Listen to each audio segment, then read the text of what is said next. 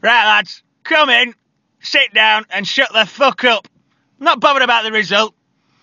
Where the fuck is Neil Ubishar?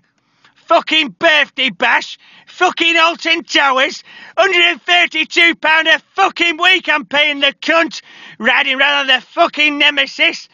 And Jamie, Jamie Hastings, if you ask me about this seven pound fucking 32p I owe you one more time when I'm trying to watch my team, I'll rip your fucking head off, you bald little cunt.